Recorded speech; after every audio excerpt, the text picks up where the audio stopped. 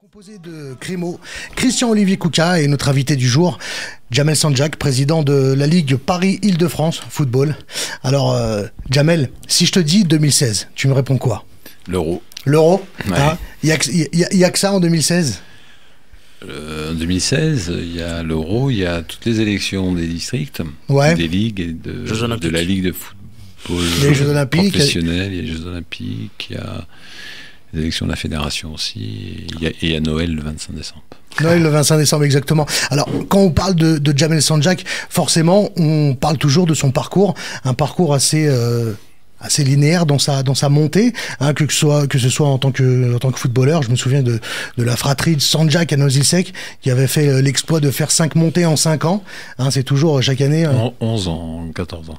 En 14 ans? 11 en 14 ans. oui, 11 parce en que la 14 ans, promotion c'est- deuxième tu vois hein, au national. tu vois, 11 ans, 14 ans, donc euh, euh, c'est toujours l'objectif de la montée. Euh, en tant que président de district, euh, bah, t'es passé président de ligue. Et ben moi, euh, je me pose forcément la question que je te pose aussi. Est-ce que euh, Est-ce que je vais redevenir président de district? est-ce que tu vas Jusqu'où vas-tu t'arrêter? Ouais, ou est-ce que est-ce que tu vas t'arrêter à président de district ou est-ce que tu es intéressé par par la présidence de peut-être la fédération française de football? Non, actuellement, très sincèrement, c'est pas d'actualité, même si effectivement, c'est les gens fabulent euh, parce que parce que c'est les pré-périodes qui veulent ça.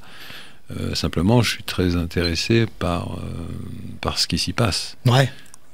Ce qui m'intéresse, c'est que c'est qu'on n'oublie pas le football amateur et qu'on n'oublie pas que la fédération elle a reçu une mission de service public et que la fédération c'est pas simplement les équipes de France, c'est aussi toutes les ligues, tous les districts, tous ceux qui font un travail euh, au quotidien, les clubs. C'est 2 millions de licenciés, 22 ligues, euh, 101 districts. La fédération, ça, elle a aussi un rôle puissant en termes d'éducation. Là, depuis quelques années, j'entends les gens parler d'éducation et d'insertion sociale, ça me fait un peu sourire, mais c'est bien parce que depuis 1980, où j'ai écrit mes premiers courriers et mes premiers projets en 86, je suis content qu'aujourd'hui on puisse euh, en- enfin affirmer que le football n'est pas euh, une fin en soi, mais un, un vrai levier, un puissant Ouais. levier d'insertion sociale. Alors, si tu veux bien, on va s'amuser un petit peu. On va faire fantasmer un petit peu tous ceux qui, qui, te, qui, te, qui te verraient te présenter à, à la, à la présidence de, de la Fédération française de football. On va jouer à une interview qui s'appelle euh, Moi président.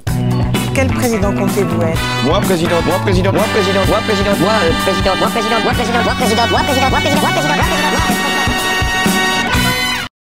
N'auriez pas dû dire ça parce que je repense à notre président de la République qui a effectivement euh, affirmé un certain nombre de choses euh, en tant que président. Une grande partie a été faite, mais euh, voilà. c'est- Ouais, c'était plus pour le, c'était plus pour le fun du, Ouais, du mois président. Et j'aimerais que, que tu répondes. Bah voilà, on va essayer de se projeter. C'est un peu, ça peut comme une, comme une espèce de fiction où tu vas répondre par mois président. Alors, moi, ma première question, si tu étais président de la Fédé, quelle serait ta politique du football?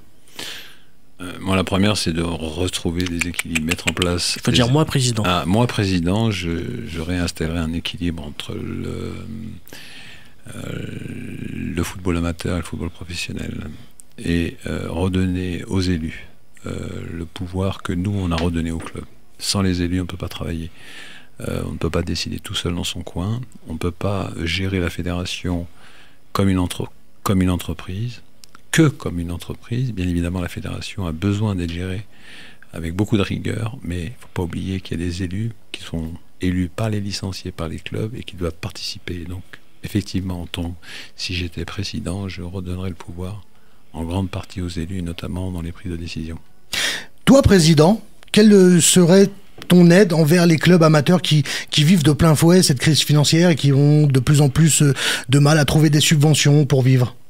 Bah, le premier combat à mener, euh, si j'étais président, c'est de mettre en place euh, des, de, revoir les conventions avec les ministères, et notamment de recentrer les, les priorités de la fédération. Les équipes de France, je disais, c'est très important, ce sont les vitrines.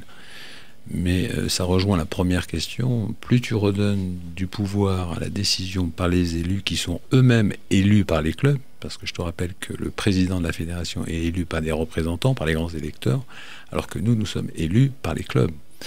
Donc, euh, en redonnant pouvoir aux ligues et aux districts, et aux clubs professionnels, parce que le club professionnel est important aussi qu'il puisse participer à la, décision, eh ben, euh, d'une manière euh, implacable, bah, les décisions qui seront prises le seront dans l'intérêt des clubs. Ligue de Paris, nous avons créé un fonds de solidarité de plus de 400 000 euros qui est reversé sous une forme ou sous une autre euh, en direction des clubs.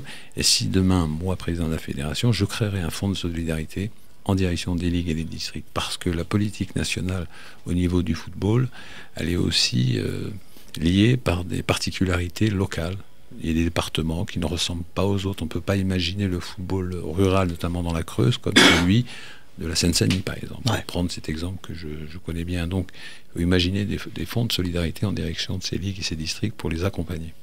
Toi, président, qu'est-ce que tu ferais pour qu'il y ait plus de diversité au sein des instances du football sans te faire taxer de communautariste? Alors, moi, président, je ferais exactement ce que j'ai fait en Seine-Saint-Denis et en Ligue de Paris.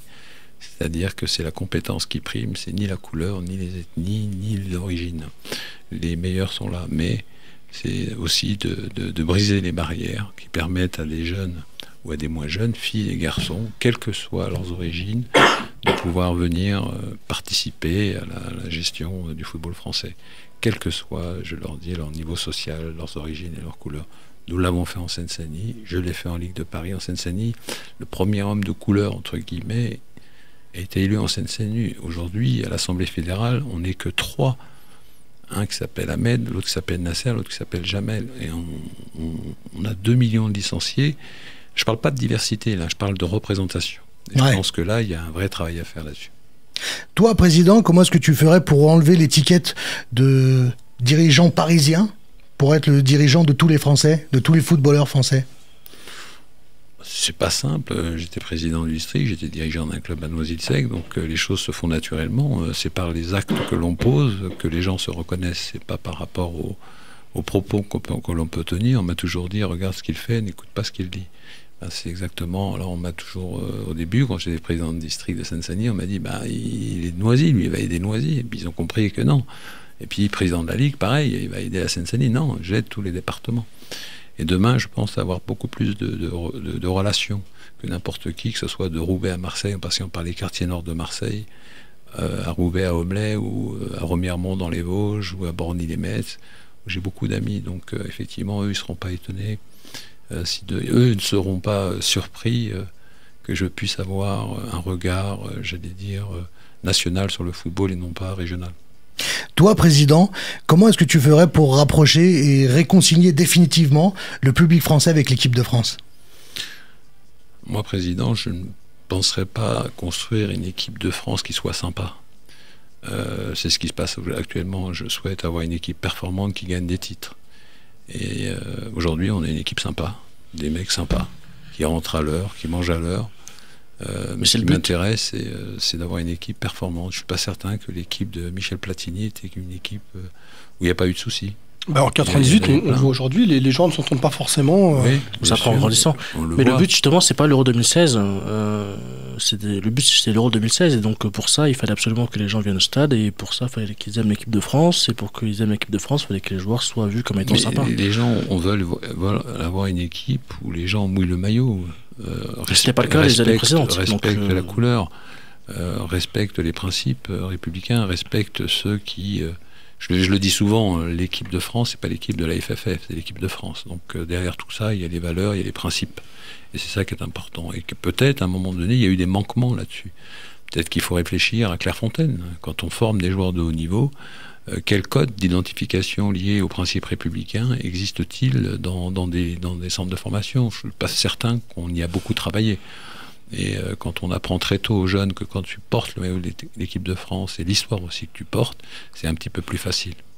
Toi, président, qu'est-ce que tu ferais pour le futsal qui a du mal à grandir, à progresser, à exister à côté de ce foot traditionnel à 11 bah, moi, président, je ne ferai pas ce qui se passe actuellement, c'est de, mettre en place des partenariats avec du foot privé et plutôt développer le futsal en, en parfaite collaboration avec les municipalités. Euh, notre rôle à nous, puisqu'on a une mission de service public, c'est d'accompagner un large public et pas de faire du futsal un foot payant. Euh, en Ile-de-France, on a lancé notre projet euh, Top Futsal, où on a doublé les effectifs en presque deux ans. Là. On a décentralisé, les équipes au niveau départemental parce qu'on en a beaucoup, donc il y a une, vraie émulation autour du foot salle, je parle, et pas du foot à 5 dans les, salles privées. Je pense que ce n'est pas notre rôle aujourd'hui de promouvoir telle ou telle entreprise. Toi, président, qu'est-ce que tu ferais pour les filles et les femmes qui jouent au football? Je continuerai à faire ce que je fais en Ile-de-France. Euh, on est devenu la première Ligue de France en nombre de licenciés féminins. Euh, puisque de tout temps c'était le Rhône-Alpes, mais grâce à son équipe de Lyon, je pense, qui était un vrai catalyseur, une vraie locomotive. Aujourd'hui, euh, l'Île-de-France a largement dépassé mon ami, qui est vrai, un vrai ami en Rhône-Alpes, et je suis très fier de d'avoir, avec toute mon équipe, réussi à mettre en place, notamment notre opération Le foot féminin, c'est déjà un but, d'accompagner toutes les écoles de football. Quand je dis accompagner, c'est-à-dire de leur donner tous les moyens nécessaires pour ouvrir euh, des écoles de football. Et le, football féminin, c'est pas simplement les joueuses, c'est aussi ce qu'on appelle la féminisation, c'est de d'aider à ce que les femmes nous rejoignent dans les instances, euh, deviennent des vraies dirigeantes de clubs, des présidentes, des entraîneurs. En Ile-de-France, par exemple, toutes les formations sont gratuites pour les filles. Et on a doublé les effectifs dans le conseil d'administration. Et j'espère qu'en 2016, si on va jusque-là, euh, on ait plus de femmes encore qui viennent participer aux décisions. Et j'espère, en tout cas, comme c'est le jeu de, cet après-midi, si j'étais euh, président, je souhaiterais qu'il y ait une forme de parité au sein du COMEX. Et pour terminer, très rapidement, toi, président, quel message tu distillerais aux jeunes qui jouent au football ou pas? Bah, Le seul message que je dis, que je rappelle souvent, que le football c'est bien, mais l'école c'est mieux. Ah, c'est pas mal, c'est pas mal. Eh ben merci euh, Jamel euh, Sanjak de t'être prêté à cette interview, moi président. Moi je, moi j'aime bien. Moi j'aime bien euh, cette interview. Donc voilà, c'est la fin de la première partie d'émission. On va se retrouver tout de suite après avec les prolongations fréquence foot avec avec quelques auditeurs qui ont voulu poser des questions à notre invité du jour, Jamel Sanjak. Si vous écoutez la rediffusion, vous allez vendredi, hein, si on est vendredi que vous écoutez la rediffusion, vous allez sur www.valleyfm.fr, vous écoutez le podcast. À tout de suite.